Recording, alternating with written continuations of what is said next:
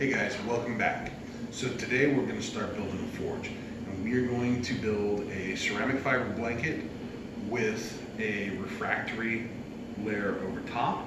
And we're going to be using a steel box frame. Now I went ahead and put the steel box together beforehand. Um, it's a pretty simple design. Four pieces of steel held together with some rod. Uh, when we do our soft fire brick build, I'll show you how to put one of these together. I then went ahead and taped up the backside, and you'll see why later on. It's so that when, when we start pouring in that refractory, it has a stopper, all right? So the first thing we gotta do, I went ahead and rigidized all of these so I can handle them now. And I'm gonna get them in place, okay? So what I have here are four sheets that are, I believe they're nine by 10, to be my top and bottom. And then I have the 10 by 5 to be my sidewalls. And I'm gonna go ahead and make this a side mount furnace so that our burner is gonna come in and it'll set like this. All right, so first thing I'm gonna do is go ahead and fit these into place.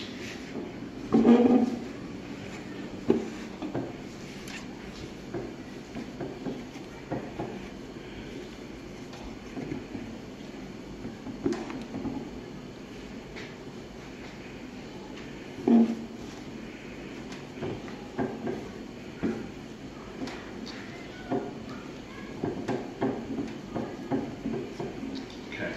Now with these side ones where my burner is gonna be, I'm gonna go ahead and put the first one in. I'm gonna take a sharp knife and these are soaked through really well with Rigidizer. So I have no issues doing this. I know I'm gonna be safe. And take and cut out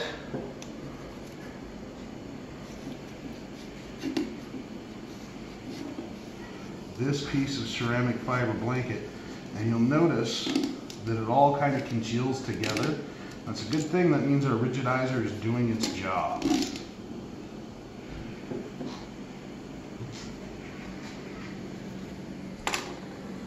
And now the second piece. Now, the reason we are doing two inches of ceramic fiber blanket is to make this forge much more efficient. Ceramic blanket, uh, this particular blanket is rated up to 2800 degrees, is a great refractory, and it keeps your forge running really well. So having two inches of it in there will help to make the forge extremely efficient. The only problem is, if you don't rigidize it, it's also extremely dangerous.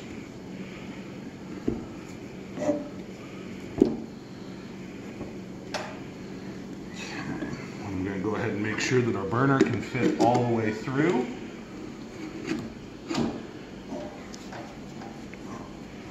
Well, that's there in place.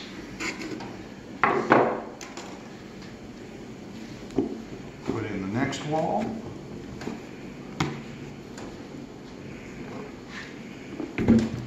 And set it on its end.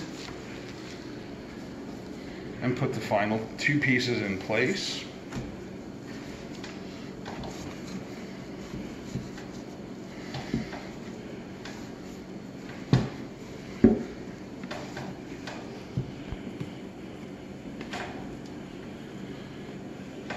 And if you don't get a perfect seal, it's not a big deal because we are going to be putting refractory in here.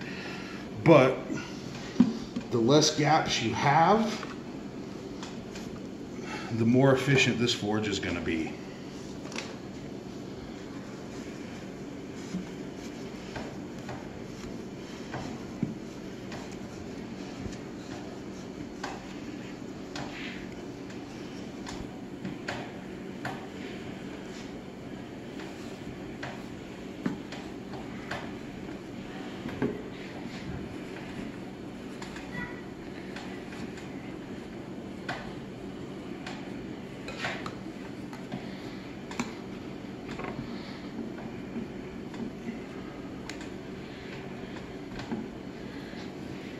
Guys.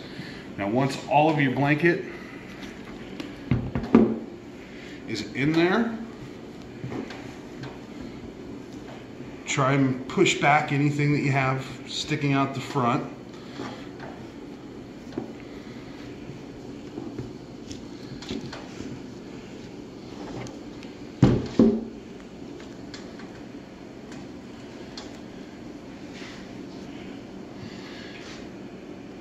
All right.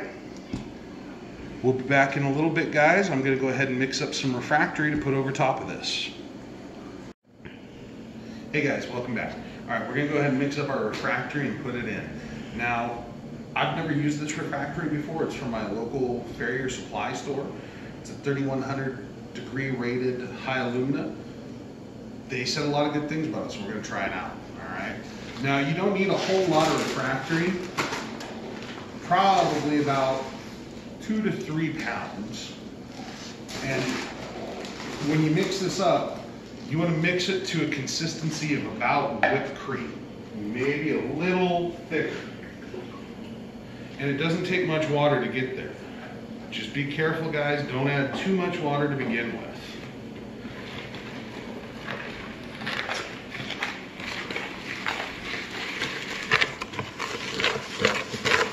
Now you'll see that I've still got quite a bit of dry material in there.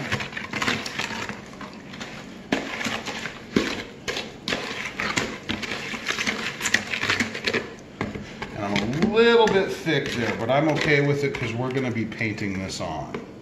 Okay, so we'll set the forge down and get the first side going.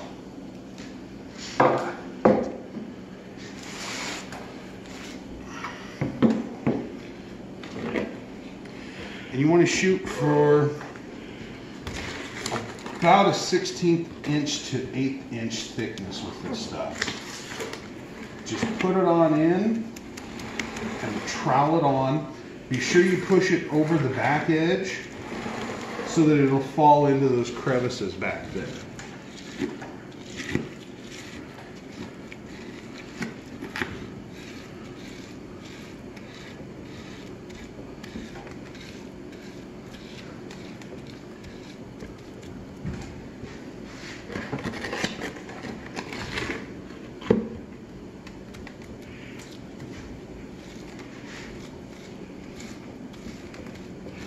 Be sure you get it on the sides and that you seal up any gap that you might see. Get it pushed down into it and fill the gaps. And that's all you got to do on all the sides, guys. So I'm going to go ahead and get that done and we will come back for our next video when it's done to all the sides. All right, guys. So I went ahead and I troweled in the refractory for all the sides and I went ahead and took the tape off and cleaned up the other end. As you can see here, we had a good solid coating all the way through. And I went ahead and I, I made the floor about a half inch thick of refractory because it's gonna end up being my workspace. I'm not gonna bother with putting brick or anything down. So I'm gonna let this sit and cure and we will come back and finish this project off in about a week. Take care guys, I'll see you then.